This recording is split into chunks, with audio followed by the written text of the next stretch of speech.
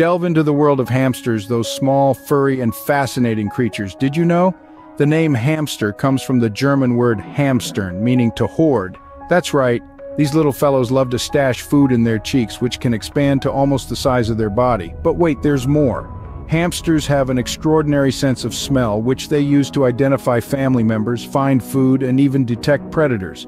Their vision, however, is not their strong suit. Hamsters are nearsighted and colorblind, but they compensate with their keen sense of smell and touch. And for the grand finale, hamsters are natural nocturnals.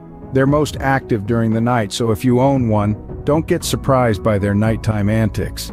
There's always something intriguing about these adorable creatures, isn't there? Join us again for more fascinating facts.